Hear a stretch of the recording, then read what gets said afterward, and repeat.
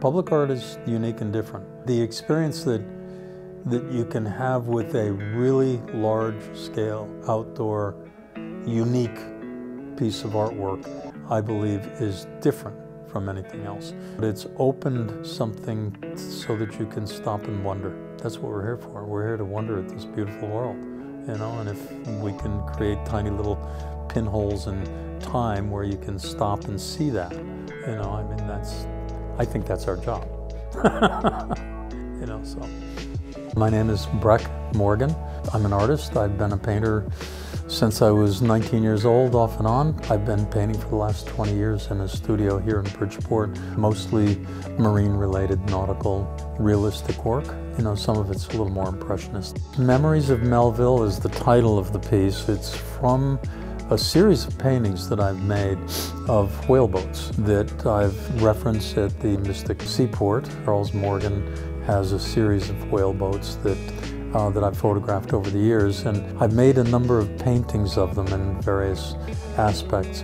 And when the opportunity came to create a mural here in Bridgeport, one of the things that I had recently read about in Little Liberia, during the time of its great economic existence here in Bridgeport, there were whaling ship owners, uh, African American free black whaling ship owners, and crews, you know, that went out after the whale. It's I, in all of my reading, because I'm particularly interested in the whaling industry, one of the things they talk about is that the African American community, the Cape Verdean community, the Azorean community, that uh, the crews, especially in the latter years of the of the whaling ships, were pretty much international. The idea that here in Bridgeport there was a sailing community and ship owners and whalers and seamen who made a living, you know, going off to sea, hunting the whale and, and doing all other kinds of fishing, I'm sure.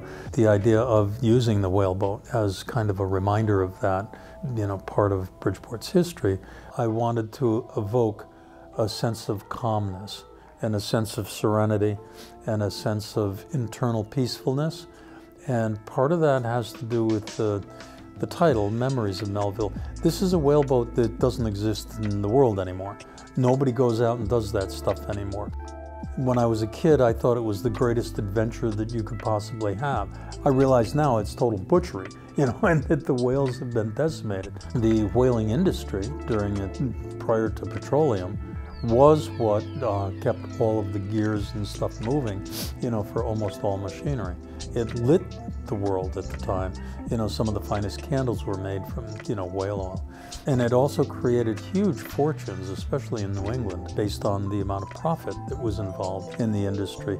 The idea that this artifact can create a sense of, of uh, thinking about a prior time and its entire connection with local history and will bring them into a space where we start connecting more with our history. The ideal downtown is a, I, I believe firmly should be, an, an incredibly open, inclusive, diverse community with a lot of different activities, um, you know, for all different income levels and all different communities.